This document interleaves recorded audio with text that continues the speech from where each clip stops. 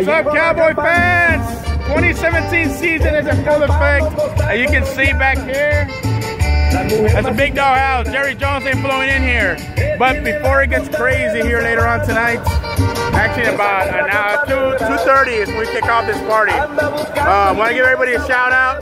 Coming out here to the Aztek Tailgate kickoff event. Unfortunately, I only show up to one game, maybe two a year, but we got the setup set up right here. Look at this. Jerry Jones flies in right there. That's his helipad. Alright? The caterers come here around 2 o'clock. I'm to grill up some freaking burgers out here right now. Everything's set up. Of course, we're to have the screen. Right now, we got the, the Texans losing. Go figure, nothing new. We're to have all the giveaways tonight. Course, sponsored by yours truly, DJ Aztek, Austin's OK's DJ.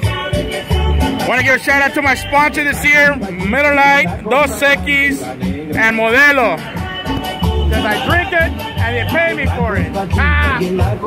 As you can see, everybody's already pretty much set up out here. Full freaking line. Since it's a late game, they don't open up these doors, man. They will not open up these doors. Jerry Jones is being an asshole. He will not open up these doors. I don't know why. But uh, 2.30 is when they're going to open up the gates. And they're all going to flood in here. Thousands of hundreds of Cowboy fans. But I'll probably lose touch here for about four or five hours till after the game or so. Anyway, shout out to everybody. Let's have a great season and no shit talking. All right, Cowboy Nation, rise up, baby. Woo!